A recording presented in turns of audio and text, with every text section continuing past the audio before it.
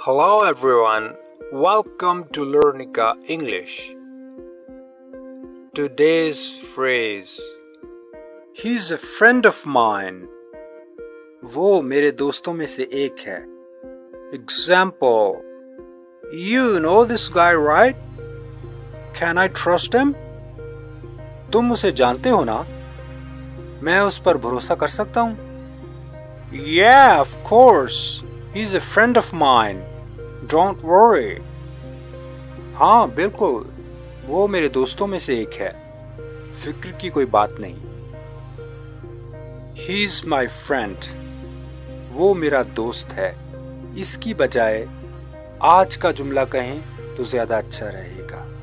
Let's repeat the phrase he is a friend of mine he is a friend of mine. He's a friend of mine. That's all for today. See you tomorrow. Bye.